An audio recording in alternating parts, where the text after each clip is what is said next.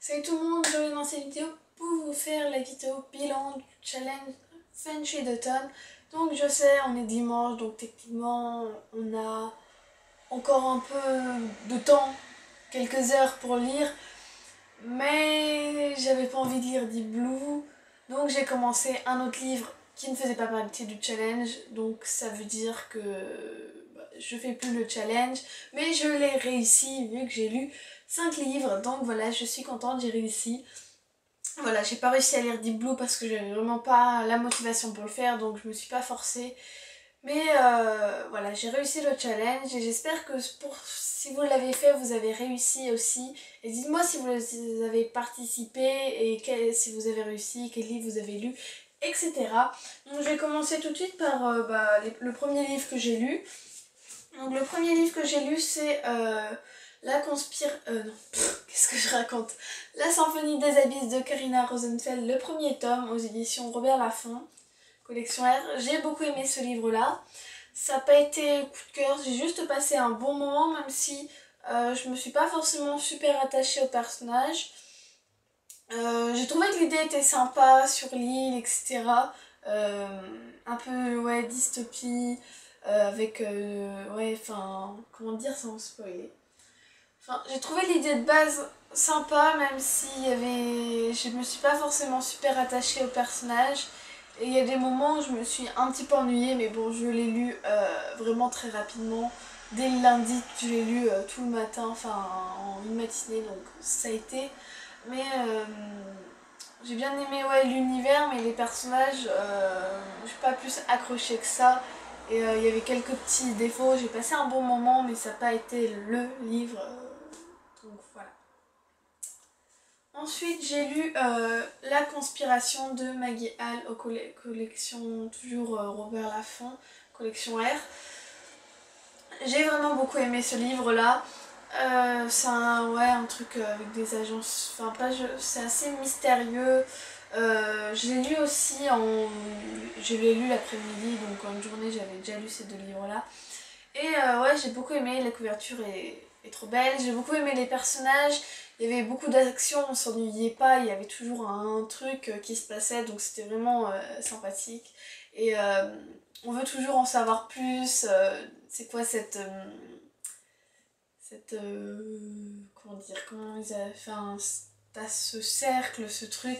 Enfin, moi j'ai vraiment passé un bon moment, il y a de l'action, il y a des personnages cool, euh, on voyage, on reste enfin pas toujours au même endroit.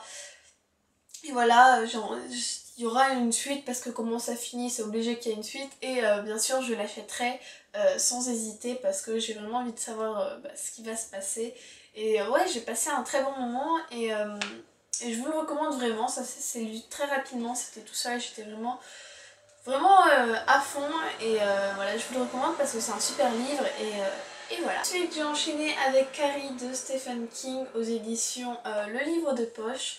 Donc pareil, enfin non, oui pareil j'ai beaucoup aimé, j'avais vu le film avant et ça avait été un énorme coup de cœur le film avec Chloé Grace Moretz et je regarderai peut-être les autres parce que j'ai vraiment beaucoup aimé ce film et cette histoire. J'ai trouvé euh, le livre beaucoup plus sombre, Carrie est plus méchante, enfin ouais, plus... C'est plus... comment dire, dans le film, je vous spoil rien parce que Carrie, je pense que tout le monde, même avant de, lire, euh, on connaît l'histoire. Mais quand elle attaque euh, dans le film, pour moi, euh, c'est pas aussi violent que dans le livre. Pour moi, il y a que les gens du gymnase qui sont touchés. Enfin, et encore, ils sont pas. Il y, a, il y a que quelques morts, et, et tue pas tout le monde. Que là, c'est quand même toute la ville qui est détruite, et donc euh, ça a beaucoup plus de proportions. Et euh, ouais, j'ai trouvé celui-là plus sombre. La mère de, de Carrie était beaucoup plus méchante, plus. plus ouais, c'était beaucoup plus sombre. J'ai passé un bon moment, enfin j'ai beaucoup aimé ma lecture, ça s'est lu pareil en, en, quelques heures et, euh, comment dire, j'ai aussi beaucoup aimé le fait que euh, dans le film on suit juste euh, Carrie, enfin ce qui se passe et ça, se termine, enfin ça se termine comme ça se termine alors que là on comment c'est fait on a des, des interviews de gens qui ont subi bah ce fait divers, donc on, sait ce qu'ont ressenti les gens extérieurement, on va dire. Je sais pas si vous me comprenez, mais dans le film, on est plus point de vue Carrie que là, dans le livre, il y a des passages où on voit comment, enfin l'actualité, comment les gens ont réagi face à ce qui s'est passé. J'ai trouvé ça vraiment très intéressant. Et, euh, et voilà, j'ai beaucoup aimé et euh, voilà, ça m'a donné envie de revoir le film. Mais j'ai ouais, beaucoup plus sombre que le film et... Euh, mais j'ai quand même beaucoup aimé et voilà. Après pour l'écriture de Stephen King, ça peut pas plus que ça, j'ai pas plus accroché que ça avec son style d'écriture. Mais voilà, l'histoire. Et j'ai beaucoup aimé l'histoire en elle-même, comme dans le film. Ensuite, j'ai enchaîné avec Le Cercle Secret de L.G. Smith le tome 1 euh, aux éditions Black Moon.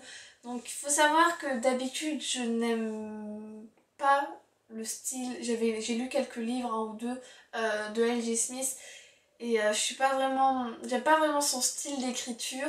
Elle a des bonnes idées mais j'aime pas sa façon d'écrire. Et, et là ça, je suis pas accroché plus que ça. J'avais vu la série que j'avais vraiment adorée. Euh, l'histoire est pareille sauf que ça met presque 200 pages, euh, pas 200 pages parce que, ouais si presque 200 pages alors qu'il en fait 250 avant qu'il se passe vraiment réellement quelque chose. Et euh, tout le long bah, c'est quand même écrit assez gros donc ça se lit assez facilement. Mais tout, tout, le début il se passe pas grand chose et c'est ça met vraiment du temps avant que ça démarre et que ça soit vraiment cool.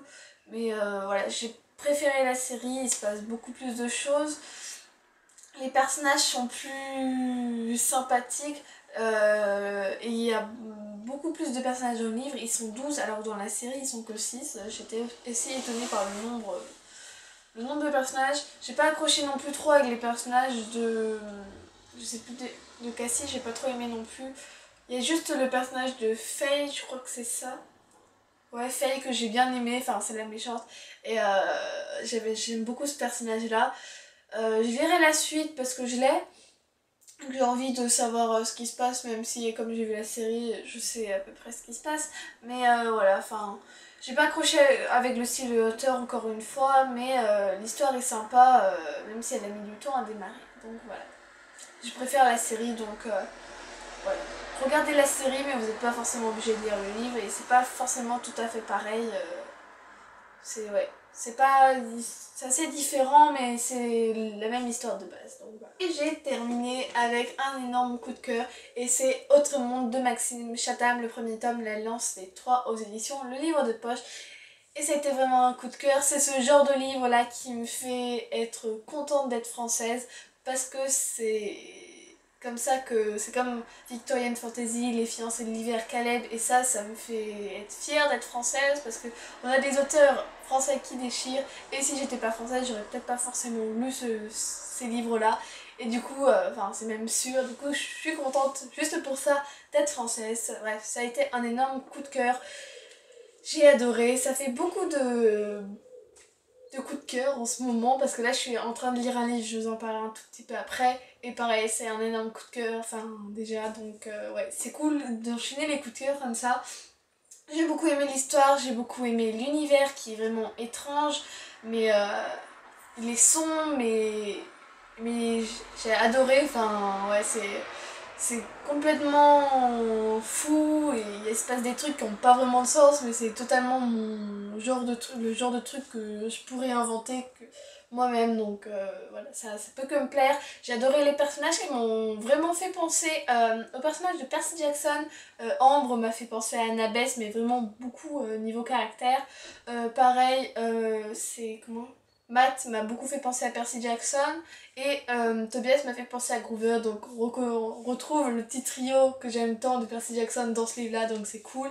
Ça m'a aussi fait penser à Walking Dead, vu que c'est l'apocalypse, la cinquième vague, ce genre de truc, euh, parce que c'est un peu la fin du monde. Euh, il n'y a plus d'adultes, il n'y a plus rien, enfin c'est un peu la foire, il y a des monstres qui t'attaquent. Ça m'a aussi un peu fait penser euh, beaucoup à Miss Peregrine et les enfants particuliers, mais pas tout de suite, c'est venu après. Du coup ça m'a fait un peu penser à Percy Jackson et tout ça réuni, ça peut faire que un truc génial. Et euh, voilà, j'ai vraiment beaucoup aimé, je vous le recommande à 100%, c'est un super livre que... faut lire. Je lirai la suite sans hésiter. Il se passe plein de choses, il y a de l'action, on s'ennuie pas, il y a toujours un truc.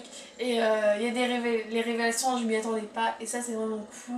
Euh, voilà, donc je lirai la suite sans hésiter. La prochaine fois que je, dans, que je la vois, j'achète euh, direct. Donc voilà, je vous recommande vraiment ce livre-là qui a été un énorme coup de cœur. Donc voilà. Et aussi, je sais pas si ça compte, mais entre temps j'ai lu le premier tome de Chi. il aurait pu faire partie de la catégorie pourrait faire partie de la catégorie un, livre euh, d'un genre que j'affectionne pas particulièrement. Donc voilà, si on compte Chi, que j'ai beaucoup aimé au passage, ça m'a vraiment fait penser à mon chat, sauf que Chi est quand même pire que mon chat. Du coup j'ai vraiment beaucoup aimé, donc si on compte Chi, j'ai lu 6 euh, livres pour le challenge, donc c'est plutôt cool. Et euh, du coup là en ce moment je suis en train de lire Caleb de Mira et je dire le tome 3. Et j'adore vraiment, je pense que ça va être un coup de cœur. Mais je vous en parle dans une prochaine vidéo. Je vous en parlerai plus dans une prochaine vidéo. Donc voilà tout ce que j'ai lu pour le challenge. Donc je suis plutôt contente. Euh, je dois avouer que les trois premiers jours j'étais à fond, je lisais vraiment beaucoup. Et après le jeudi, le vendredi et le samedi, euh, presque rien lu. Enfin si j'étais en train de lire euh, euh, Autre Monde, mais sinon c'est les trois premiers jours que j'étais vraiment à fond. Donc voilà, comme je l'ai dit, dites-moi si vous avez réussi ce que vous avez lu pour le challenge. Aussi, j'ai oublié de préciser, j'ai créé, enfin non, j'ai pas créé, elle était déjà depuis un moment, mais j'ai eu des problèmes avec mon adresse mail. Mais maintenant, elle remarche, donc c'est leslecturesdemarie.gmail.com Donc si vous voulez discuter de livres, de séries, de films, de tout ce que vous voulez, euh, vous pouvez m'envoyer un mail et euh, ça me ferait plaisir. Et si vous voulez aussi, euh, j'ai un Instagram, pas pour ce pas pour euh, ma chaîne YouTube, mais c'est les bidules de Marie, donc je vous mettrai tout ça en barre d'infos et là. Si vous voulez me parler de livres ou autre, ou ce que vous voulez, donc voilà, vous pouvez me joindre à ces deux, ces deux trucs. Et euh, là, c'est vraiment fini la vidéo, donc je vous dis à bientôt pour de nouvelles vidéos. Bye